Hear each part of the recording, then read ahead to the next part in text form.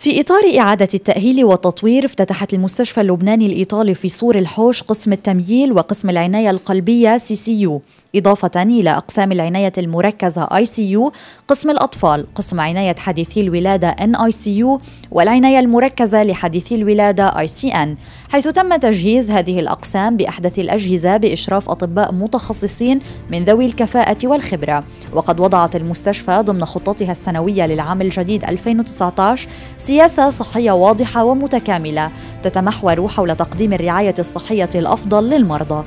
ولهذه الغاية وفرت إدارة المستشفى مجموعة من البرامج العلمية والإجراءات التدريبية تعزيزا للرعاية الصحية المرجوة وأعلنت المستشفى أنها تستقبل المواطنين والمرضى من كافة الشرائح والفئات من أهالي المنطقة